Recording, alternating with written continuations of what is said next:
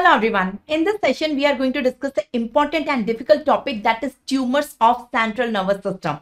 So, you sometimes get a long question in your university exam so you have to describe gross and microscopy of all the tumors of the central nervous system and the brain. So i will describe seven tumors here. And sometimes you get a short question on individual seven tumors one of the seven tumors that is gross and microscopy. So i will be discussing the pilocytic astrocytoma glioblastoma multiforme oligodendroglioma ependymoma meningioma medulloblastoma and schwannoma. I will be discussing all seven the gross microscopy site introduction with everything. So if long question write down all. And if short question write down individually that. And i will give you a comparative analysis so that you can retain them easily. So let's start tumors of the cn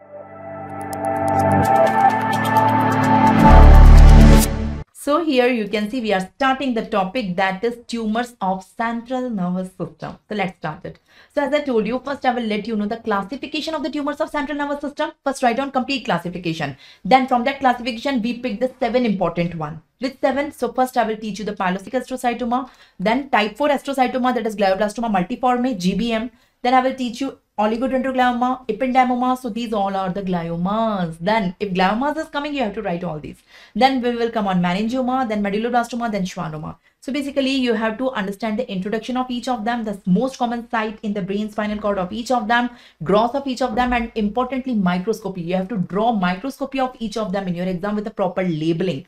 So we will we will do that very easily. Don't worry. So let's start the brain tumors. Before that, you must understand the uh, diagram of the central nervous system, the structure of the central nervous system. In the central nervous system, we have brain, we have spinal cord. You can see this is brain and this is spinal cord. So you all can see this is brain, this is spinal cord. Now the brain and the spinal cord are made up of parenchyma. This is parenchyma. The parenchyma is made up of cell. There are three type of cells. What are the three type of cells? The parenchymal cells which constitute the parenchyma of the brain and the spinal cord that is central nervous system. What are the three type of cells? The most common cells are the neurons which do the signal transmission. So neurons are the most common cell. So tumors can occur in the neurons also. The second most common tumors are not of tumors of neuron. The most common tumors in the brain is of the supporting cells. Tumors of supporting cell. The supporting cells are known as neuroglia. So that's why tumor of the neuroglia is known as glial tumor. Glial tumors are the tumors of neuroglia. What are neuroglia? They don't do signal transmission. They support neurons. These are the supportive cells. These are of three types. Astrocyte, oligodendrocyte and ependymal cells. So tumor of astrocyte is astrocytoma. Tumor of ependymal cells is ependymoma and tumor of oligodendrocytes is oligodendroglioma. So these three together known as glial tumor. If glial tumors coming in your exam, you have to write all three. Okay. And finally, the microglial cells are the macrophages in the brain and the spinal cord. So that is the various types of the cell. You understood it. Now coming on the classification of the tumors of the brain. In the brain, there are two type of tumors. What are the two type of tumors in the brain? Primary tumors and metastatic tumors. What are primary tumors? Primary tumors are the tumors that arise in the brain or spinal cord only. And metastatic tumors are the tumors which are not arising in the brain and the spinal cord. The primary cancer is somewhere else in the body and they are metastasizing in the brain as a secondary. So that is known as metastatic tumor. So primary tumor arise in the brain only and they arise in the brain only, grow in the brain only. That is primary tumor.